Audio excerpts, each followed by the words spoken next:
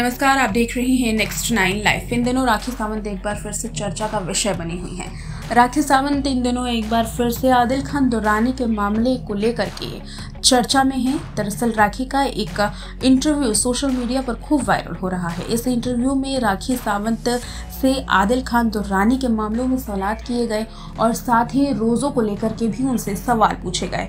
राखी ने अपने upcoming shows के बारे में भी बताया। उन्होंने बताया कि उनकी फ़िल्म जल्द ही आने वाली है और साथ ही वेब सीरीज़ के लिए भी राखी सावंत तैयारी कर रहे हैं। इस बीच राखी ने यह भी बताया कि वो रोज़ों के बीच में जिम जाती हैं। जब राखी सावंत को उनके फातिमा नाम से पुकारा जाता है तो राखी सावंत इस पर फातिमा नाम को लेकर के बड़ा बयान देती हैं। जी हाँ वीडियो में साफ़ देखा जा सकता है कि राखी सावंत को जब फातिमा कहा जाता है तो राखी कहती हैं कि वो फातिमा ज़रूर है, लेकिन उन्हें फातिमा के नाम से ना पुकारा जाए, वो राखी ही है।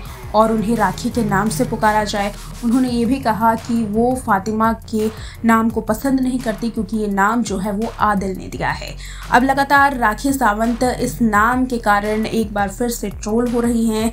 लगातार लोग उनसे ये सवाल पूछ रहे हैं कि जब उन्हें फ़ातिमा नाम से दिक्कत थी जब उन्हें परेशानी हो रही थी तो आखिर क्यों राखी सावंत ने अपने धर्म को परिवर्तित किया?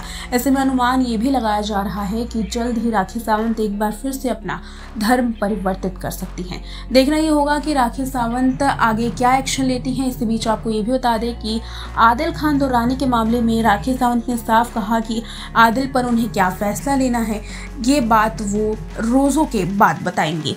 अब देखना ये होगा कि क्या क्या रोज़ों के बाद राखी सावंत आदिल खान दुर्रानी को जेल के बाहर करवा पाती हैं या फिर सज़ा दिलवाएँगी।